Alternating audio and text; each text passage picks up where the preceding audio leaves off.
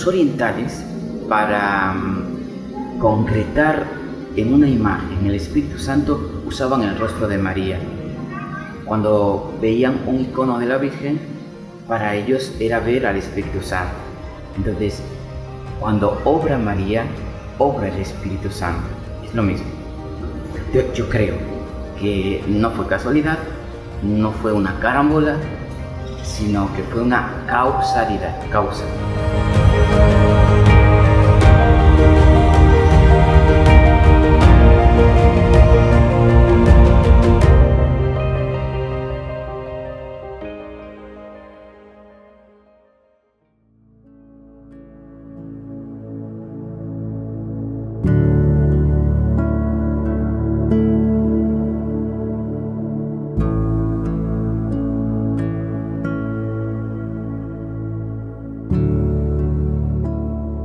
lleva al encuentro con Dios, nos pone en comunión con Él. Para don Luis Gallego, Nuestra Señora del Encuentro con Dios, que es muy bonito, es aquella madre que nos asiste en el momento del trance final, cuando nos acercamos al umbral de la muerte y cuando tenemos que dar cuentas a Dios y ahí viene el momento definitivo. Aquí podemos vivir 50, 60, 80 años, 90, 120 los que más viven, ¿no? Pero luego, ¿qué? Y claro, pues eso, la Sagrada Escritura dice bien claro que cuando nos presentamos ante Dios, pues tenemos que dar cuenta de nuestras acciones, ¿no? Y el Señor lo que quiere ante todo es un corazón humilde y arrepentido. Hay gente que está como muy endurecida. En ese momento, en ese momento que nos vamos a encontrar con Dios, es donde aparece María es nuestra abogada. Es una abogada que si le dejamos actuar, gana todos los casos. Cuando oramos, tenemos un encuentro con Dios, ahí está María. Cuando comulgamos, tenemos un encuentro con Dios, ahí está la Virgen Santísima. ¿Cuántos santos para comulgar le piden a la Virgen su corazón? Porque vamos a comulgar con distracciones de cualquier manera y la Virgen no tiene distracciones, entonces su corazón y su mente son los nuestros. Ese encuentro con Dios se hace en María. Eh, vamos, tantos momentos, que Dios es el Dios de los encuentros, desde la creación hasta cada aspecto más pequeñito de nuestra vida que parece una casualidad, una tontería, allí está nuestro Dios. Hay un encuentro. Ese encuentro lo preside porque Dios lo quiere así, la Virgen Santísima.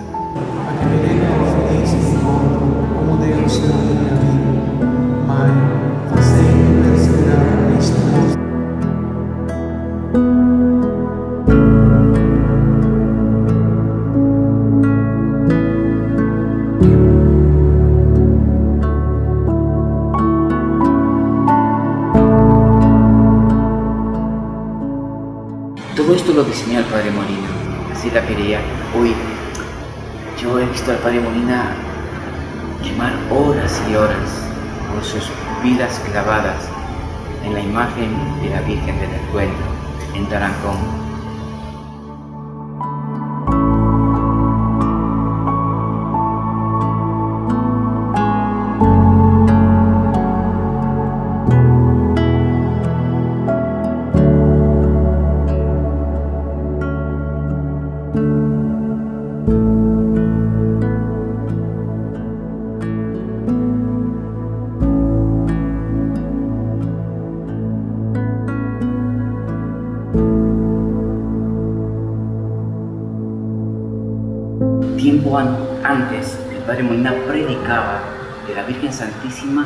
Como la que lleva al encuentro con Dios. Entonces, eh, tiene predicaciones muy antiguas, de los años 70, 80. A ver, eh, ¿cuándo se produce esta entrega de la imagen del matrimonio de Loreto y Paquita al Padre Molina? En el año 93, eh, cuando empieza a hablar, pero en concreto ya del cuadro más grande, 95, año 95. Pero el padre ya hablaba de Nuestra Señora del Encuentro con Dios en los años 70, en los años 80. Hablaba de María como la que nos lleva al encuentro con Dios.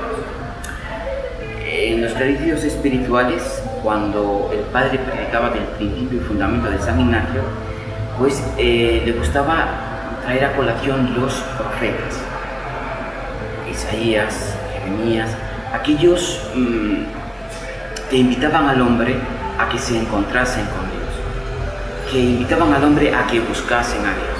Y cuando predicaba de ese encuentro con Dios, de esa búsqueda con Dios, el Padre Molina colocaba a la Virgen. Ella nos va a llevar a ese encuentro con Dios, ese encuentro ansiado, invitaba también a los ejercitantes que, que a la Virgen, que la imitasen en el silencio, generalmente los ejercicios eh, de San Ignacio son en silencio, pero muy pocos cumplen esto del silencio. Entonces, mm, que la Virgen nos ayudase pues, a, adquirir ese silencio que es tan gustoso. No le resultó al padre Molina como extraño, un hombre, por así decirlo, tipo omni o extraterrestre, sino que, que estuviese lejos de su geografía de devoción mariana, que tocó el corazón. Y a partir de aquí viene digamos, toda la entrega del padre Molina a la proposición, por así decirlo, sugerencia de don Luis Gallego. Y lo cuenta muy bien doña Paquita Sánchez en su libro sobre la historia, el proceso histórico de Nuestra Señora del Encuentro con Dios. Ya en ese mismo año 95 se da una serie de encuentros encadenados, encuentros entre el padre Molina, don Luis Gallego, el matrimonio, y que fue el inicio de esta gran aventura de Nuestra Señora del Encuentro con Dios, que no quedaba como circunscrita a un pueblecito de Ciudad Real, sino que Gallego quería darle como una expansión universal.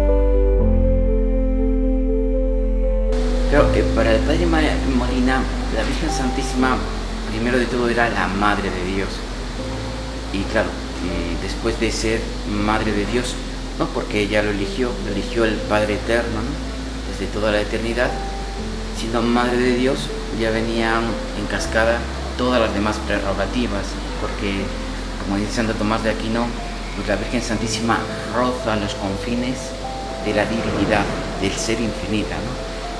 hay otros teólogos que me matarían ahora por decir esto de la Virgen, pero los santos y santos teólogos como Santo Tomás de aquí nuestras frases de Santo Tomás lo afirmaban sin ambajes, sin temer haber dicho demasiado. Entonces, eh, la Madre de Dios, primer título para el Padre.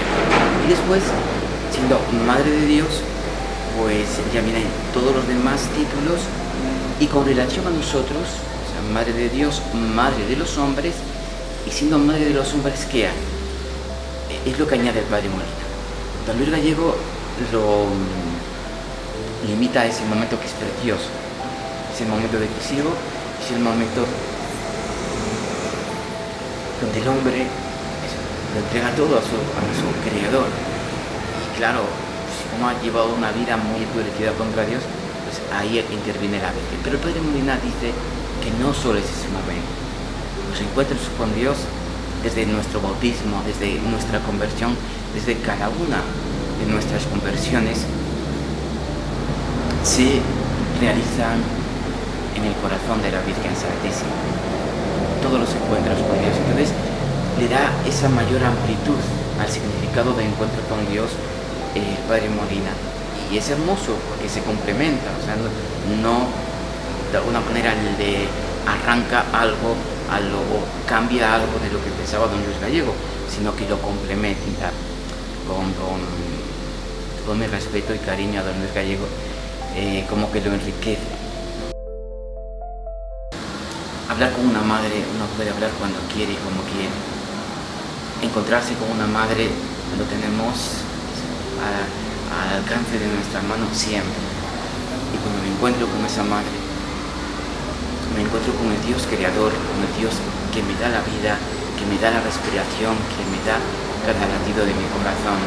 Entonces, la Sagrada Escritura nos pone a la Virgen como la nueva tienda del encuentro con Dios, donde tengo ese contacto tan íntimo con ese Dios. No es un contacto así superficial, un encuentro como dos cosas que están ahí unidas, no, es mi corazón con el corazón de la persona a la que amo. ¿Qué es lo que buscaba el Señor? O sea, que es toda la Sagrada Escritura es un intentar decirme el Señor por un medio por otro que me ama, que me quiere. ¿sí? O sea, esto lo tiene también presente el Padre Ignacio también en varias predicaciones eh, y hace referencia a esta nueva tienda del encuentro con Dios, nueva arca de la alianza, ¿no? También esa imagen muy, la arca de la alianza, eh, donde se guardaban tres cosas. Se guardaba eh, el maná, un trozo del maná, este maná del desierto, que es imagen de la Eucaristía, imagen de Jesús. ¿Qué más se guardaba? Se guardaban las tablas de la ley. ¿no? Entonces las tablas de la ley, la palabra, es también imagen de Jesús. ¿Qué más se guardaba? Se guardaba la vara sacerdotal de Aarón, que es imagen de Jesús. Todo eso lo guardaba el arca santa, que era lo más sagrado que tenían los. Y bueno, pues ese arca, esa nueva arca será la Virgen Santísima que va a contener el verbo encarnado, el sumo sacerdote, la palabra que se hace carne por nosotros. Bueno, pues todas las imágenes son imágenes de Nuestra Señora del Encuentro con Dios y están en la Sagrada Escritura. Eh, y luego los santos pues han hablado de ello, ¿no? Eh, tengo aquí un texto de Santo Tomás de Villanueva.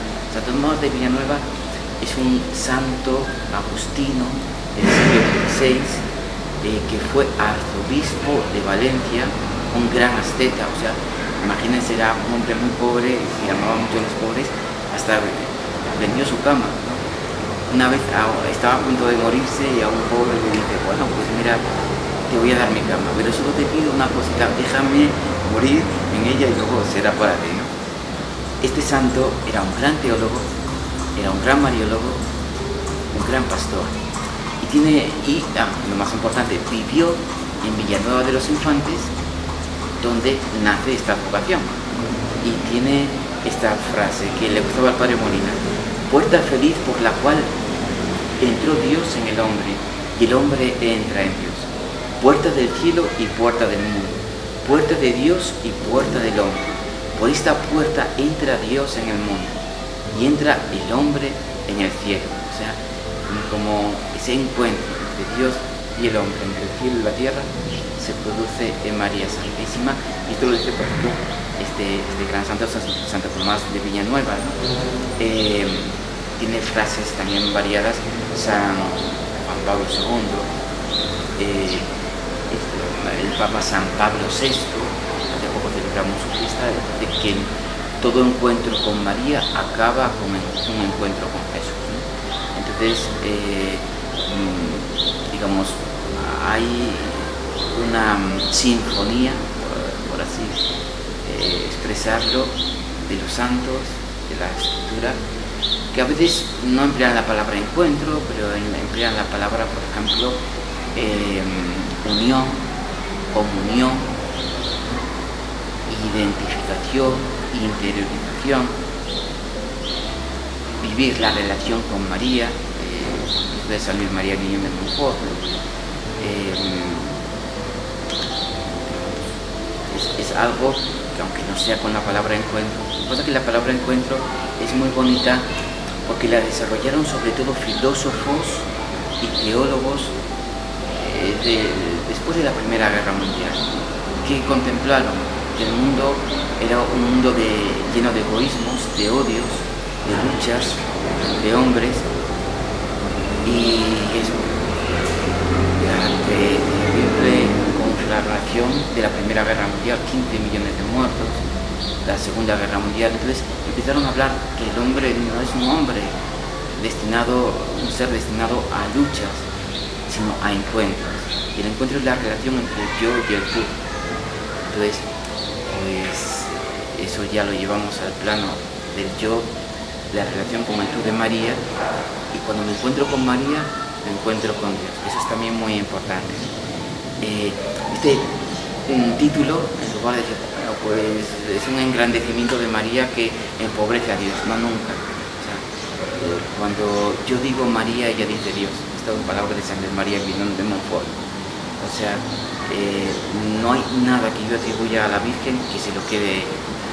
Y esto es muy bonito porque es el encuentro con Dios. Es decir, alguien que hace de mediador entre dos personas y esa persona como que desaparece pero la Virgen no desaparece, no porque ella no quiera, es la mujer sino porque Dios quiere que esté presente. Eh, lo vemos también en otro texto escritístico, las bodas de Cana. Eh, vemos que la Virgen Santísima, ¿dónde está? Como dice el Padre Hurtado. Está donde los sirvientes, en la cocina. Y se da cuenta que no tiene vino entonces en ese momento ella interviene y produce un encuentro. Y va a ser una catástrofe, una boda sin vino, una catástrofe. Y la Virgen interviene y sabe que su hijo es todopoderoso, es Dios, y él no tiene vino en la comida. Es lo que le dice a Jesús, demuestra nuestras carencias, la primera parte del encuentro, ver que somos una miseria. Y la segunda parte es hacer lo que ellos digan.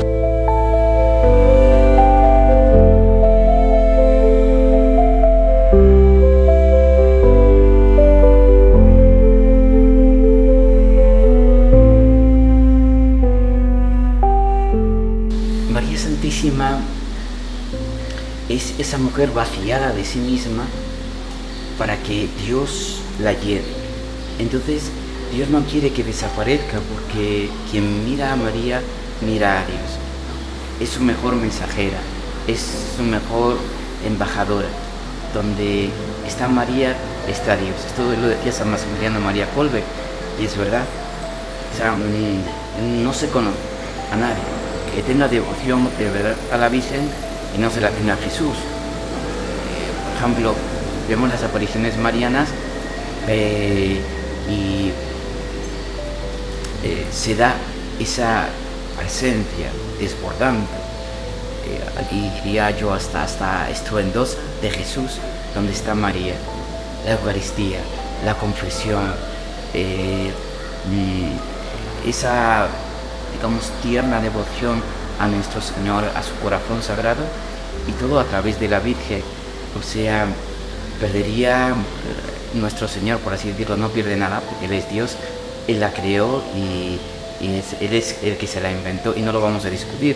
Si tú, Señor, quieres a María y quieres que la honremos, pues nos acomodamos, quiero decir, o muchísimo gusto, ¿no? Pero, mm, digamos, ¿cuántos de nosotros, verdad?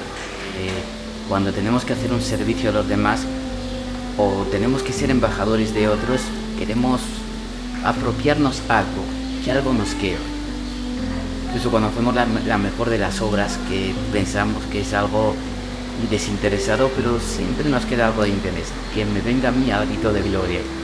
Pero la Virgen Santísima no es así, es lo que más callaba el Padre Molina. Y cantaba a la Virgen, mostrarnos a la Virgen toda humildad, la Virgen del que canta la gloria de Dios, que se alegra por ser esclava, por ser nada. Entonces, pues Dios a esos esclavos, a esos que se autodescartan, porque ella se lo descartó. La gloria para una mujer en esa época era ser madre, era una maldición no ser madre. ¿no? Pues aquella que se autodescarta es la que señala a Dios como la elegida, la preferida de su corazón. Entonces, eh, hablando también de San Juan Bautista, ¿no? Eh, y esta humildad, la que precede al, al. Estamos en la fiesta de la visitación de Nuestra Señora. Y vemos que la Virgen Santísima se entera de que su prima Santa Isabel está embarazada y lo primero que hace, en lugar de pensar en ella misma, salir rápido, riendo, dice San Lucas, para atender a su prima Santa Isabel. Y cuando mm, se encuentran, la Virgen embarazada de Santa Isabel de San Juan Bautista, precisamente, ¿no? Y que en ese momento ella va, a aprovechar el encuentro de Jesús con San Juan Bautista. Es, un encuentro también muy bonito, en la alegría y en el desaparecer ella. ¿Qué hace Santa Isabel? Prorrumpe en una alabanza a la Virgen Santísima, ¿no? No, no soy digna que la Madre del Señor venga a mí. No, no, no soy. Entonces la Virgen la llamó Madre de Dios. Es la primera vez que aparece en la escritura que se le llama Madre de Dios. ¿Y qué hace la Virgen Santísima? Pues yo qué sé, llenarse de vanidad, de vanagloria, decir, sí, soy yo, soy yo la Madre de Dios. Has acertado. No. Entona el Magnífica, es el canto de la humildad. ¿Qué vio Dios en mí? Pues mi nada, mi pobreza, mi, lo que Padre Molina, mis tapiñosos, la bajura, la nadura, la nadura no existe, es la nada, pero vamos, ampliado a algo más poder. Entonces, eh,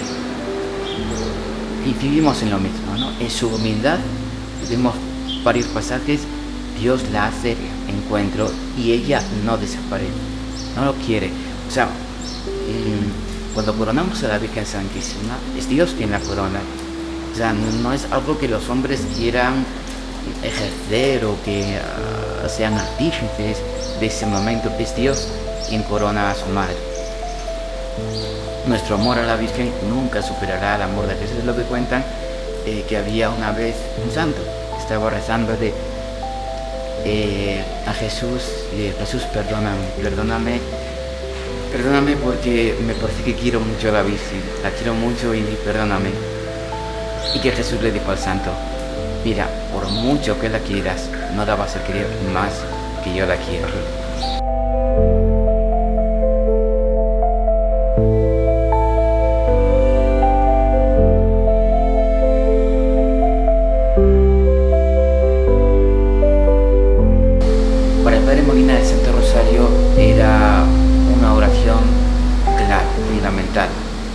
Rezaba siempre todas las partes del rosario e invitaba a rezarlos, digamos, cotidianamente, porque bueno, lo reza de vez en cuando, pero nos aducía que en Fátima la Virgen, en todas las apariciones, no dijo que fuésemos a la misa, ¿no? que hay que ir a misa. No dijo leer la Biblia, dijo rezar el rosario, porque el rosario es la Biblia de los sencillos mucha gente era analfabeta y, el rosario nos lleva, según digamos la impronta que le dio San Domingo de Guzmán, nos lleva a contemplar la vida de Cristo mientras rezo el Ave María. Entonces, mientras alabo a María, mi mirada se va a Jesús. Y eso lo pueden hacer los más, los más sencillos. Por eso también recomiendan el rezo del rosario tener alguna imagen, del misterio que estoy contemplando.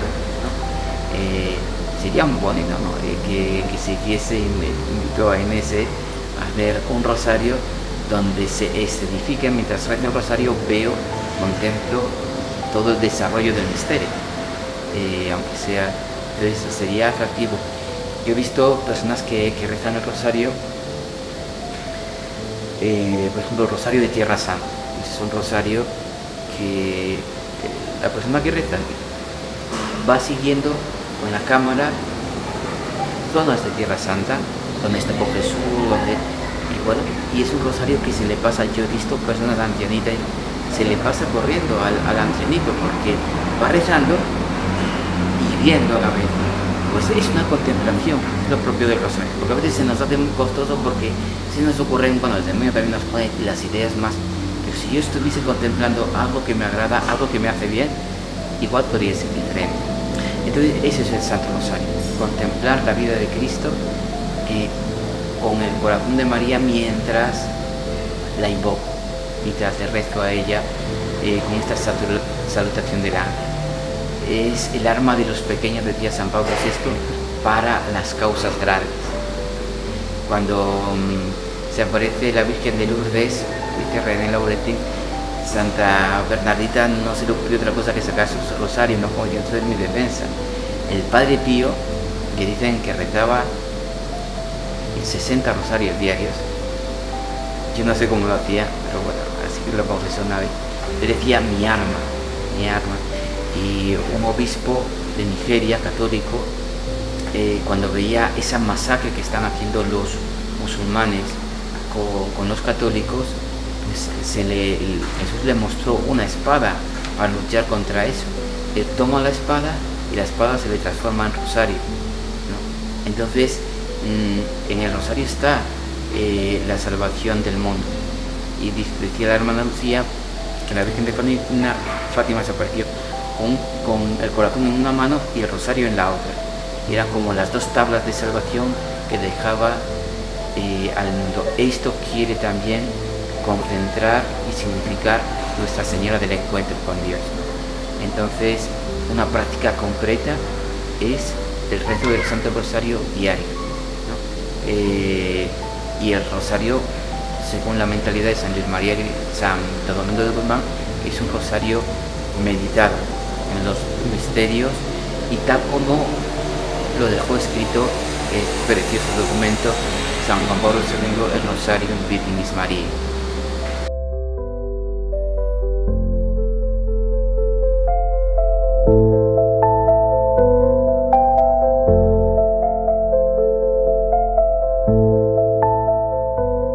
Betsabé, la mamá de Salomón, eh, de ahí va a venir Jesús, eh, fue esposa de David. también tiene ese eh, mm, recuerdo un poquito triste por todo lo que pasó con Urias, pero bueno, luego Dios se arrepintió David, Dios lo perdonó y David es un rey santo. entonces, cuando entraba en la sala del trono donde estaba David, que era su esposo, la reina se postraba en tierra, rendía veneración al rey. Cuando su hijo Salomón es rey y entra la reina en el, salón del rey, ahora no es la reina la que se postra, es el rey el que se pone de pie. La reina madre tenía tanto poder, incluso más poder que el rey, y tenía un trono al lado del rey, la reina madre la Gevidad mesiánica. Eso es lo que va a recoger la iglesia con la Virgen Santísima. Cuando se corona la Virgen, no se hace otra cosa que reproducir lo que ha hecho Dios. La ha coronado, es el culmen de, su Inmaculada Concepción, luego viene la Asunción y la hace reina, todo el poder. Pero el poder de madre, diría San Juan Pablo II, ella lo va a emplear no en lucirse, ¿no? en envanecerse, eh, en ir por, no sé cómo se llama, fotocolo, eso que, que, te hacen sesiones de fotos para que luego aparezca en revistas, ¿no? La, la es reina para servir, es reina para, para estar con sus hijos, los más pobres. Antes decíamos, muestra que eres mi madre. Y si tu madre fuese reina, y si fuese la reina más poderosa, si fuese la reina madre de Dios, pues esa es mi madre.